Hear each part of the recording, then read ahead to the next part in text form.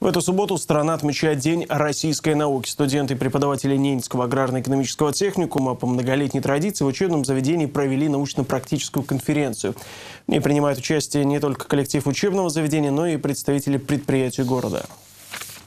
Впервые такая конференция состоялась в 2010-м. За 4 года число ее участников выросло с 27 до 75 человек. Да и работы, которые студенты и преподаватели выносят на суд коллег в этот день, стали намного серьезнее. Все-таки в конференции принимают участие 15 кандидатов наук. В этом году конференция отличается тем, что у нас э, большее количество учителей города и округа приняли участие. Они поверили, что это действительно стоит того, чтобы к ним готовиться и участвовать, поэтому количество участников увеличилось и количество секций.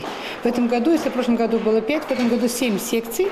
В каждой секции можно найти актуальные работы. Так экономисты провели мониторинг современно-экономических процессов в нашей стране. Педагоги и психологи выявили основные проблемы подростков в Ненецком округе, а математики и физики рассказали о геометрических формах города Нарьинмара по теории Ферма. Участникам конференции не терпится поделиться своими находками в науке.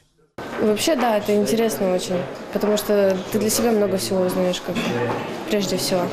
И все-таки даешь это всем, то есть что-то что, -то, сделал.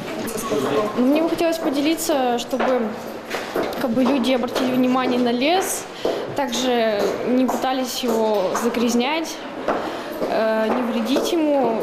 Разнообразнее всего доклады в области экологии. Все они практической направленности. От изучения проблем планеты в целом до исследования нашего города. Одну из работ посвятили изучению снежного покрова Нарьинмара. Юные ученые провели только первый этап исследований, но уже готовы сделать предварительные выводы.